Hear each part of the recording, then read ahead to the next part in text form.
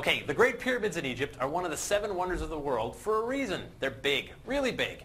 Mathematically speaking, they're beyond precise. And considering they've been around since at least 2560 BC, they're as close to eternal as any man-made thing on your planet. But who built them? Some claim it must have been aliens. Others say brute force and hard work. Tonight's guest says it was, it was an advanced civilization with incredible technology that has since been lost, until now. Our guest has been studying the pyramids for over 20 years. He's the author of the new book, Lost Technologies of the Great Pyramid, and tonight he's here to share how those advanced technologies can benefit us today. Please welcome, beaming to us live from Oregon, Stephen Myers. Ah. Hey, thank you for having me on your show. I appreciate it. Stephen, great to have you here aboard the mothership. Uh, now, when I was a kid, they told us the pyramid was built by slaves pushing giant blocks on rolling logs, up ramps, and eventually putting together this, this, uh, this, this amazing accomplishment. As you said, the pyramid's 445 stories tall, 5.9 million tons, the tallest building on Earth for 3,800 years, uh, yes. which is incredible, incredible, incredible. But you're saying that's not so. That's not how you, you believe it was built. Well, traditional uh, Egyptologists have offered up a hypothesis, okay. Uh, which is what you have described, using uh, strong back muscles and a lot of force to create the Great Pyramid. But it's fascinating that uh, much of what they say has never been demonstrated. They, the largest stones of the Great Pyramid are 70 tons, and e the entire science of Egyptology has never moved a 70-ton payload even one inch. So uh, they have a hypothesis, they have a story to tell, but they sure can't back it up using the scientific method. All right, you sent us a bunch of animations Let's start here at the beginning. Um, talk us through some of this. Let's start with a, you know, what, what well, are we looking we have, at? We have an all, we think that the Great Pyramid was built level by level, and so did Flinders Petrie, an early uh, researcher uh, of the Great Pyramid. And uh, it was built level by level, but it was also built using water and water locks, similar to the Panama Canal or the Erie Canal. Okay. And these water locks were used to lift the stones on barges all the way to the building site. So, so this is an example, example, of one of these water locks that we're, we're talking about here. Right. The stone on barge would move into the water lock, and then it would rise up to the level of the casing stones, which are which are uh, where, where it's going to go. The casing stones used to encase the Great Pyramid, and they were built with extreme precision and cemented together watertight. And this shows how in in the early stages of construction, the uh, stones on barges were moved right to the building site. So that's how we think massive stones were moved in ancient times in a similar manner that massive objects are moved uh, in modern times. Okay, now that's a lot of water to move a distance. Although you know, thousands of years ago, the Nile may have been closer, right? I mean, it was. You, have got photographs here actually that, that don't go back that far certainly uh, the uh, location of the Nile is in scholarly debate when the mm-hmm. Great Pyramid was built. But even Herodotus, the 5th century BC historian, said that the Great Pyramid looked like an island surrounded by water. Okay. There was a wall around the Great Pyramid, and we think that wall impounded water. And also, we feel that uh, there was a water source provided by the original builders that might have been in the ancient Lake Moeris, there's a, there's a lot to it, but okay. water was provided to the uh, building site on the Giza Plateau. Okay, so if the, if the water was closer and it's available, uh, building these locks is not an unreasonable you know, thing to assume here. Take us through. Once, once the stones get up into, um, you know, up into the, the site, uh, you've basically got ponds waist deep, right? We've got a, another animation Yes. Here. Yeah, we, uh, we think that the stones on barges uh, were moved from the Nile River all the way up to the building site. And then the Great Pyramid was built level by level. And then uh, these stones on barges would move up the series of water locks all the way up into the building site. And some of the stones were set inside the pond, filling the pond with stones. And when that pond was filled up, another level of the Great Pyramid was completed. These animations are little clips from a video series that we have available at our website, which is thepump.org. Okay, right. And and so what's amazing to me though is this: you're, you're talking serious precision. This has to be watertight. If these if these locks leak in any way, you're out of business. Absolutely. It's interesting to note that the stones, the casing stones that still exist at the Great Pyramid, are still cemented together watertight. Okay. So now, this theory is consistent with the direct physical evidence. now, how long would this have taken? How long would this process of construction taken for, for something this big? Well, it's hard. It's hard to say, but water locks the world over operate 24 hours a day. So this system is very fast. The Erie Canal, which was built in the 1830s, moved the entire weight of the Great Pyramid in two years. And you- think there's there's other evidence of, of water in the region, like around the Sphinx and things like that? Oh, certainly. There's water erosion around the Sphinx enclosure as well as on the Sphinx itself.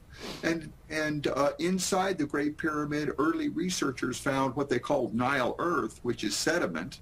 And the, uh, the construction of much of it being watertight and airtight, believe it or not, uh, lends credence to this type of research, this direction of research.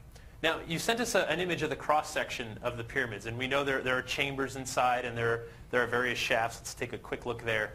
Um, so, Yeah, the, the Great Pyramid has many uh, chambers and passages, kind of a complex network. And what we think that the purpose of the Great Pyramid was, was that it was infrastructure for the civilization that built it, and in fact that it was uh, built to be a massive water pump.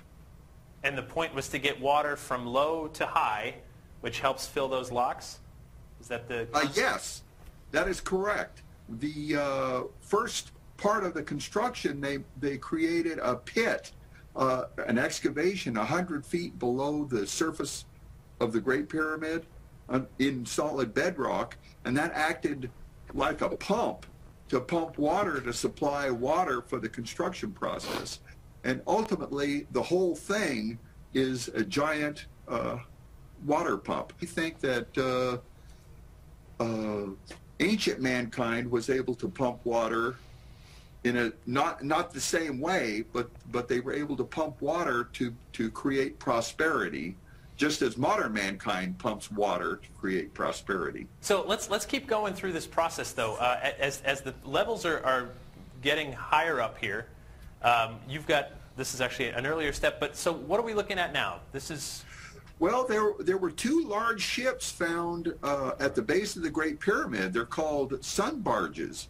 Egyptologists ha- have a story to tell. They say that these sun barges were used to move the pharaoh's carcass.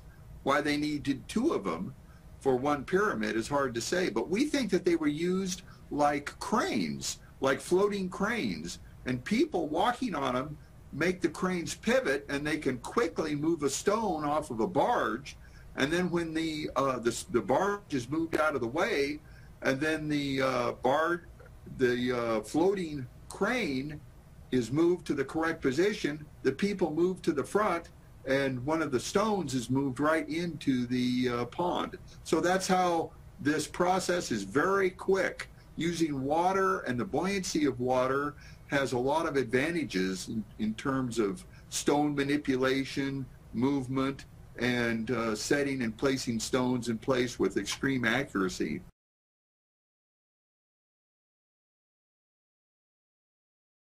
Dennis is an independent Roswell researcher. He's done a lot of research on Area 51. He's looked into uh, the uh, Giza pyramids, and he is our guest tonight. How you doing, Dennis? I'm doing good. You did good with the name. you know, you notice I'm not using your last name again because I don't want to mispronounce it. It's Balthaser. That's good. Your civil engineering background that put you in a really good position to understand how they built the pyramids. I wanted to talk with you a little bit about your research into the Giza pyramids. What who do you think built the pyramids? I have no idea really, but I, Mhm. I can pretty well assure you that the three pyramids of Giza and the Sphinx were more than likely not built by the Egyptians. Mhm. I think we have pretty good proof that, well, I know we do on the Sphinx. The, the Sphinx is deteriorated by by water on the back of it, and consequently, the, the Sphinx was covered up to its neck in sand until the 1800s. They didn't even know there was a body there, and they uncovered it, and there was a body of a lion. Mhm. And there wasn't that type moisture rainfall in that part of the world for at least 10,000, maybe 15,000 years. So that automatically would predate the Egyptian civilization. One of the researchers that I work with has done a lot of research on the pyramids, and he has come up with a civilization known as Khemitians, K H E M I T I A N. Mhm. It was a black civilization that lived in North Africa about 10 or 12,000 years ago. And he claims that they think that they had contact with star people. Ah, okay. Well, going to say that ETs built the pyramids, but I am leaning towards the possibility that the technology to build them could have come from the star people. Uh, there's no record anywhere in Egypt on how the pyramids of Giza were built. hmm There's probably 80 or 90 other pyramids, at least, in Egypt, and they were probably built by the Egyptians. But if you look at them, they're all poor replicas of the three of Giza. Right. And you know, people have argued. Uh, well, scientists say that this the pyramids were built by using ramps or using a lot of people and a lot of manpower to do it. Why is that not possible, based on what you've researched on the pyramids? Well, the, Great Pyramid contains two and a half million stones. They weigh anywhere from two to 70 tons each. Mhm. Those stones were quarried miles away from where the pyramids are. So if you look at the time it took to quarry them, to cut them, to load them on a barge, bring them up the Nile River, transport them across to where the pyramids are, you would have had to set a, a stone about every 90 seconds. They claim there was 20 to 30,000 people that worked 20 or 30 years. If you do the math, it, doesn't come out. They would have had to set a stone every 90 seconds, which is an impossibility. Yeah, and uh, the just the transportation of the stones and then moving them that would have been you know practically impossible. Even with our technology today, can we duplicate the pyramids?